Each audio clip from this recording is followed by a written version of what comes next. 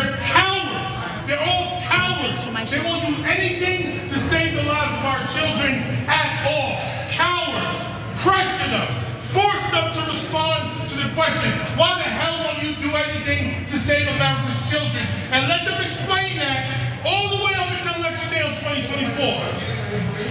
Let them explain it all the way up to election day. We don't negotiate with terrorists globally. Why are we going to uh, negotiate with the economic terrorists here? QAnon, no more MAGA, no more CNN, no more debt ceiling nonsense. Come on now, save the party, No, we gotta save save America. Save the children, save the do country. something about guns. Right, so close Come the on, border. invest in Close the education. border, save the the children. border is the What border is when Trump left Hey. What are you talking about? Where are the migrant What children? You guys We're accepting them. We No, love them. We them. love the migrant children. What do you mean lost missing. them? You can't find them. What- what are you That's talking about? administration. What are you talking about? Yeah, migrant children missing. You don't know the No, no, we don't know the news. Oh, I don't know. That's Fox News. said it before. That's Fox News. Listen, I need you to save the party. I love Jamaal Bowman uh, getting into these debates outside of Congress or in the hallways. As I said earlier in the show, I'm calling him the principal now. He's walking the hallways, straightening out the kids, okay? And I love that he started on, and, and in fact, in that entire clip, he brought up issue after issue, policy issues, right? So, and mainly about, uh, he's fighting back on the issue of gun control. So that's terrific. And the main reason that he's having to do that is because there are no actual debates inside Congress. They're cowards. They're all cowards. They won't do anything our children at all. Cowards. Pressure them.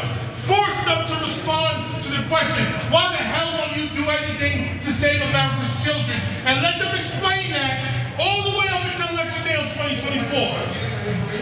Let them explain it all the way up to election day on 2024. They're freaking cowards. They're not here. I'm talking about gun violence. You know, there's never been I'm talking teachers to carry. Oh my God. Carry guns? You think more guns lead to more death? More guns lead to more death. Look at the data. You're not looking at any data. You're, you're, you're carrying the water for the gun lobby. For the first time in like 40 years, I'm seeing Democrats fight back. It's shocking, absolutely shocking. I couldn't believe it when I saw this video.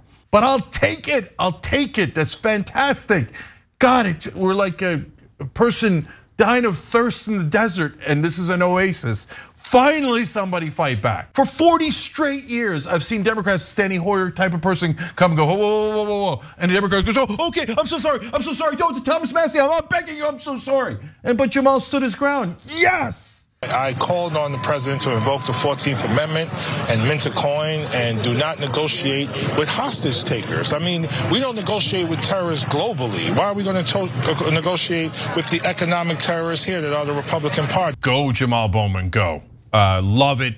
Um, here for it. That's exactly what we sent progressives to Congress for. By the way, another uh, positive sign.